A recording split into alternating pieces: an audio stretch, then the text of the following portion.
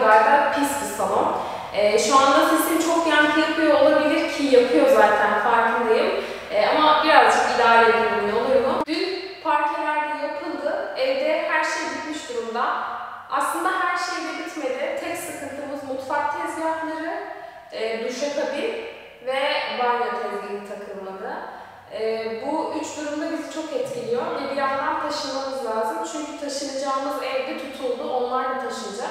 Onlar taşınmadan önce bizim o evden çıkıp e, duvarların boyasını yapmamız gerekiyor ki onlar da gelip bir şekilde yerleşsinler diye. O yüzden biraz da acelemiz var ve tezgahları bekleyemedik. Tezgahlarda mermerler burada kesileceği için yani şu an biz temizlik yapacağız ama yine her yer batacak taşındıktan sonra. O yüzden mutfağa ve banyoya asla girmeyeceğim. Artık taşındıktan sonra, mermerler takıldıktan sonra evde komple tekrardan bir temizlik olacak. Şimdilik sadece eşyaları eve atabileceğimiz bir temizlik yapmamız gerekiyor. O yüzden ben de size bir önceki videoda gösterdiğim gibi bütün temizlik malzemelerini getirdim. Süpürgeler, kovalar, biledalar, işte çamaşır suları vesaire vesaire. Şimdi hemen temizliğe başlayalım. Umarım sizin için keyifli bir video olur. O zaman temizlikte görüşürüz. Bay bay. Şimdi bu kovanın içerisine kapıyı silmek için su hazırlıyoruz. Öncelikle beyaz sirke var. Birazcık evin her yerini beyaz sirkeyle silmeyi düşünüyorum. Şu kadarlık yeterli diye umut ediyorum. Sonrasında şimdi ablama soralım. Sen kesin bunu seçersin. Farmasinin genel temizleyicisi mi olsun yoksa böyle Arap sabunu tarzında bir şey mi? Farması tabii ki de. Farmasi mi olsun? Güzel yapıyor. Tamam. O zaman farmasiden, genel temizleyicisinden şöyle bir kapak kadar ekleyelim.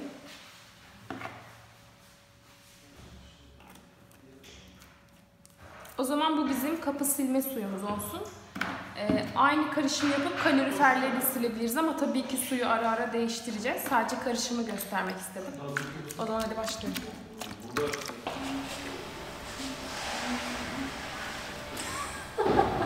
Aşıklar gibi. Türk filmlerinde olur ya birbirlerine koyulan sabun şey yaparlar. Ama böyle köpük böyle. Tabii.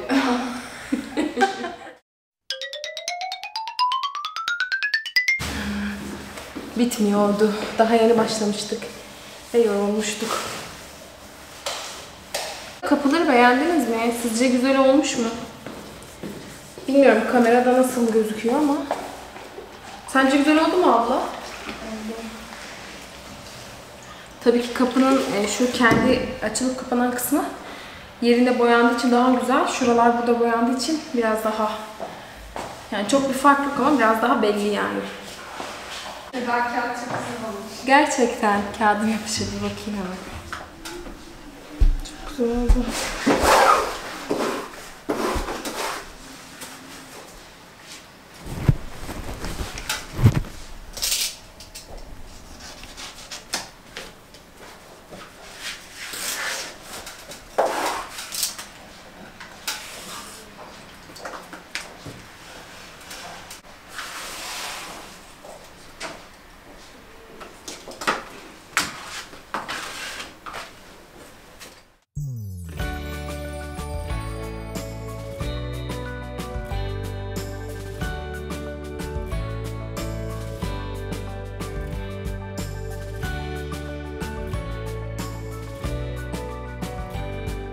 Babam şu an kendini tam bir Kadir Ezildi gibi hissediyor.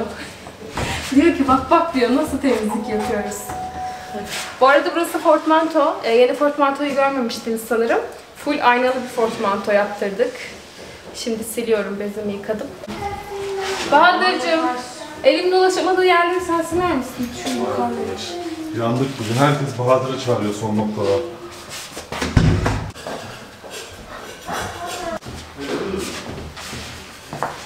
Kankalar sandalye getirdiler mi?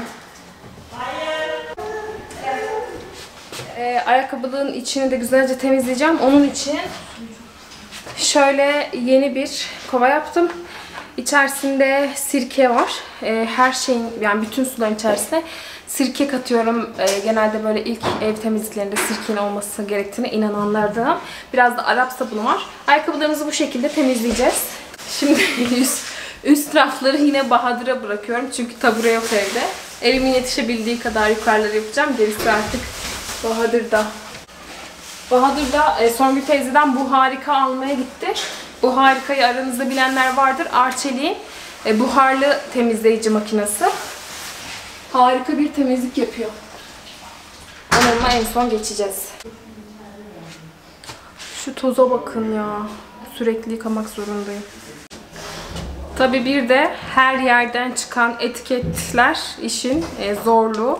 Her şey yeni olduğu için her yerden etiket çıkıyor. Sinir bozucu. Şimdi biz bu harika makinesini Songül teyzeden aldık. Arçelik'in bu harika. Bu arada ismi süper yani gerçekten. Tam ismine yakışır bir ürün. Şimdi ablam bize göstersin. Öncelikle şu pislikleri bir yakından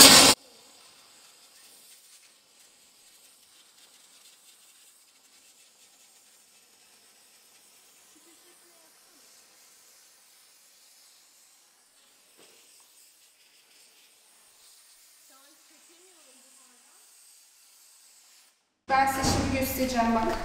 Şurayla şu farkı var. Neyi? Hepsini onunla sileceğiz. nasıl akıttığını görüyor musunuz? Yerdeki pisliği de göster. Evet. Yarın çıkarttığım pislik de bunlar. Şimdi yeri hemen bir yandan biledayla alacağız. Size biraz gösterdikten sonra.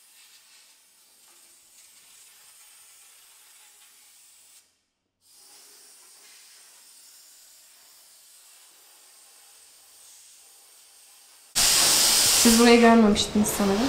Böyle bir oda yaptık buraya. Mekanın. Tam bir saattir çamaşır odasının şu yeri ve duvarlarıyla uğraşıyorum. Biz normalde boyacılara bütün yerler değişecek dedik ama bir tek burası değişmeyecekti. Onlar da burası da değişecek diye bütün harçlar buralara dökülmüş, boyalar dökülmüş, berbat bir haldeydi. Bilmiyorum gösterdim mi ama e, tek tek spatula ile hepsini kazıdım. Sonrasında bir ilaç vardı, ilacı döktüm. O ilaç da bir kokuyor ki size anlatamam. Evin içinde duramadık. Ama sonuç tertemiz bir çamaşır odası oldu. Bu şekilde tertemiz oldu. Artık buranın kapısını kapatıyoruz. Evet, saati beş buçuk ettik sanırım şu an saat beş buçuk altı arasında ve bizim işimiz bitti. şu anda portmantonun aynasından size sesleniyorum. Ee, neler yaptık? Şöyle evi gezdirirken ee, size anlatırım artık. Bir evi gezdireceğim. Bu arada yarın taşınıyoruz ve hala oturduğum eve gidip son böyle birkaç koli kalmıştı. Ben giysi kolilerini yaptım. E, makineye daha son bir kirlileri attım. Dün akşam astım onları. Şimdi kurumuştur. Onları da giysi kolilerine ekleyip onları bantlamam gerekiyor. Böyle birkaç tane işim kaldı anlayacağınız. O yüzden eve gitmem lazım. Oradaki işleri de halledelim. Bu gece annemde kalacağız. E, yatağın nevresimini falan da söküp onu da artık kolileyeceğim. Nevresim de gelince artık burada yıkarım. Yani işlerimiz hala var. O yüzden şimdi size bu evin turunu çekeyim. Sonra hala yaşadığım eve gideyim. Yani son gecemde de aslında orada olmak isterdim ama durumlar el vermiyor. Şöyle öncelikle bu arada kapıyı silmediğimizi şu an yeni fark ediyorum çıkmadan. Onu da silelim. Bir orası kalmış. Burada böyle aynalı bir portmanto var. Nasıl gösterebilirim bilmiyorum ama sanırım şöyle yaparsam iki kapak burada, iki kapak burada olacak şekilde full aynalı tepeye kadar. Dört kapaklı portmanto var. Şöyle içini açtığımızda burası. e, burayı ben sırf ayakkabılık olarak istedim. Çünkü e, yani lazım oluyor ayakkabılık. Şu an bizim oturduğumuz evdeki ayakkabılık çok küçüktü ve burası bana gerçekten çok büyük geldi. Kısımda şöyle mont için e, bir kısım. Yine yukarıda iki katlı ayakkabılık var. E, oralara ne koyarım bilmiyorum. Belki seccadeleri falan koyabilirim.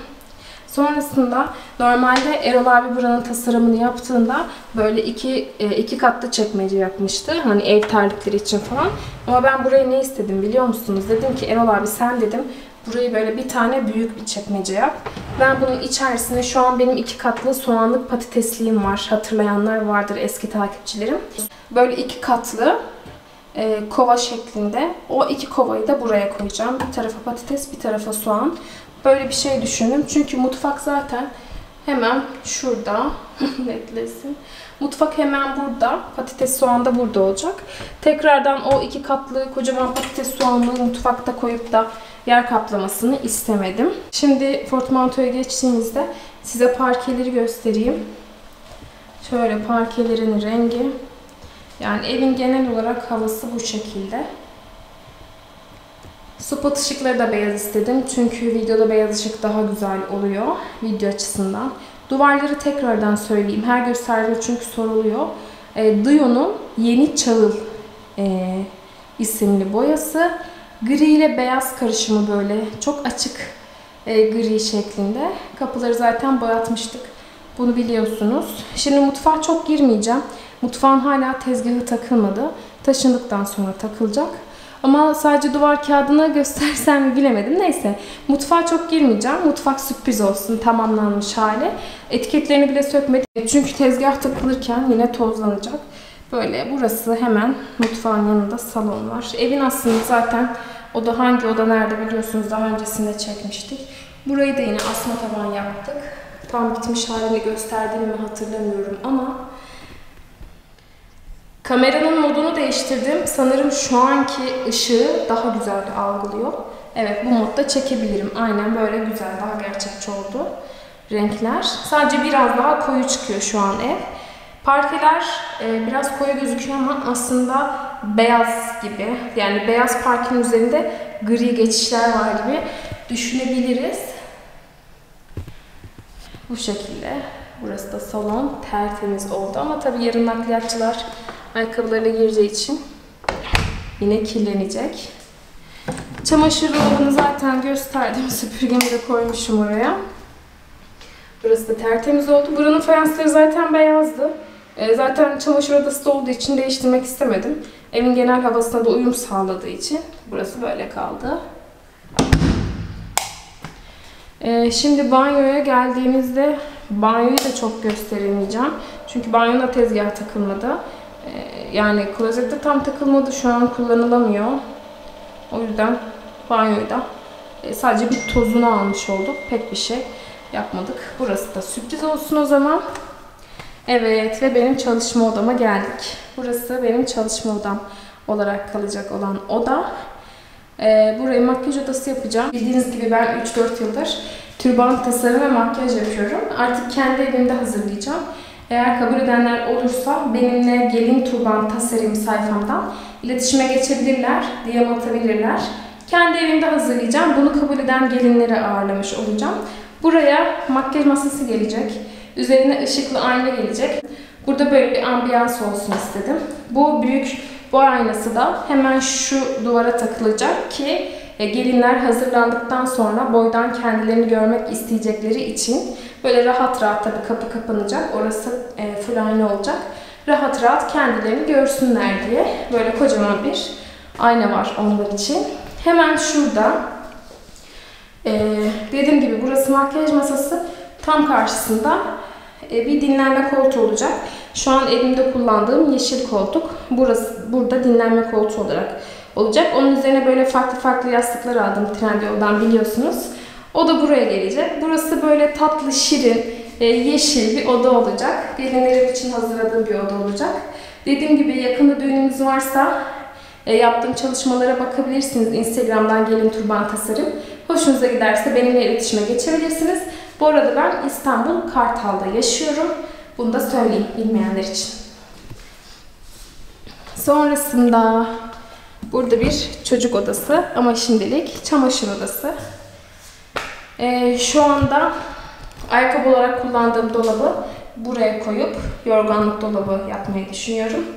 Ee, bu tarafa ütü masasını koymayı, camın önüne de çamaşırlık e, çamaşırlığı açmayı düşünüyorum. Çamaşırlarımı orada asacağım, burada öteleyeceğim. Yorgan ve nevresim dolabı da burada olacak.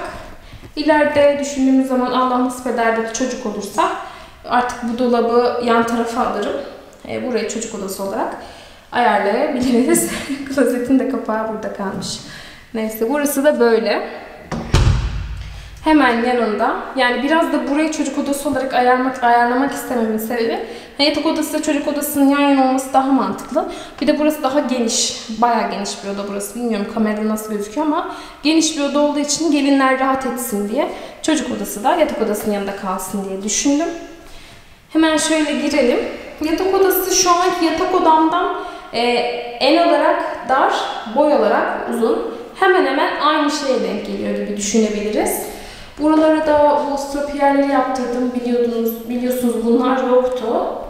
Bunları da yaptırdık. Bu arada e, şöyle yatak başlığına alengirli malengirli bir şeyler yaptırdım.